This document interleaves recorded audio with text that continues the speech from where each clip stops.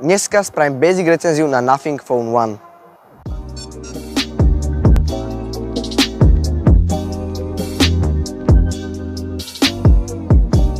Nothing Phone 1 je môj nový mobil. Menil som ho konkrétne za tento Samsung Galaxy A13, ktorý bol hrozný. Nothing Phone jednotku som si kúpil kvôli tomu, lebo má dobré kamery, dobrý výkon, pekný dizajn a veľa miesta. Samozrejme, že miesto má veľa mobilov, tento splňal všetky moje podmienky, takže asi preto som išiel do tohto mobilu. Nejsem nejaký profi recenzor, ako to nazvať, takže poviem iba nejaké basic informácie. Display je 120 Hz Gorilla Glass 5, takže ak vám padne, tak by sa nemal rozbiť. Zadná strana je tiež sklo, Gorilla Glass 5. Takisto je takto obložený hliníkovým rámom.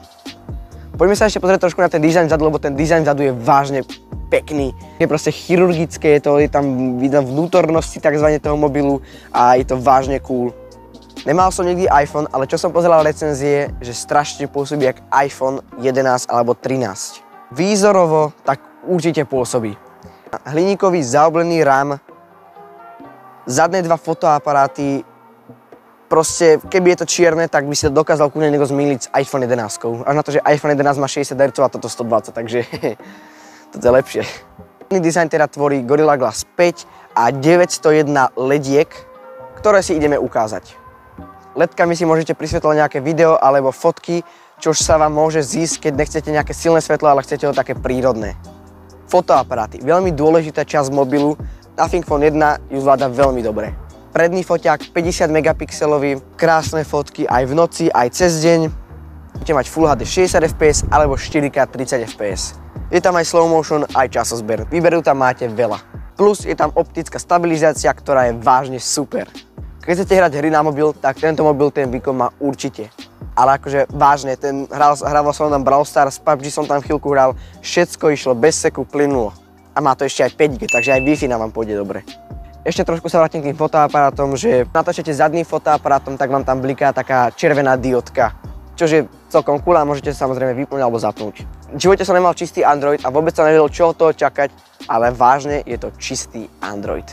Čože dobré, ale sú tam aj nevýhody. Poďme trošku najprv tým nevýhodám. Napríklad nemáte tam galériu, musíte si ju sami nainštalovať, čo je trošku otravné, ale nič strašné. A to je všetko asi. Nemáte tam zbytočné aplikácie, všetko, čo chcete si stiahnete. Funguje to tam aj na otlačok prsta a aj na Face ID. Konektory, dosť podstatná časť mobilu. Je tam slova SIM kartu, dokonca dual SIM. Je tam USB-C. Akože tam není 3,5 mm jack, ak chcete veľký mobil, tak vám určite sadne.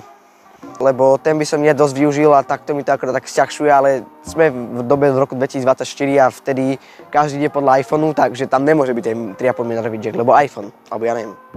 Veľkosťou je jak iPhone 13 Pro Max alebo 14 Pro Max, takže taká celkom cool vec, že keď sa vám mobil nabíja, tak toto tu vám ukazuje, že koľko máte nabité, takže to je podľa veľmi dobre.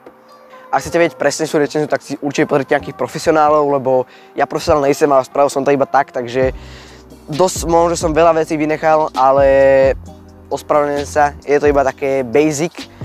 Ja mám k tomu takýto presvitný umbal, presvitný je podľa mňa najlepšie, lebo tam potom vlastne vidíte tie ledky a je to celé vlastne strašne cool. To bude z tohto videa všetko, ak sa vám páčilo, tak sa máte like a odber s zvončekom. Ja sa s vami lúčim a vidíme sa v ďalšom videa.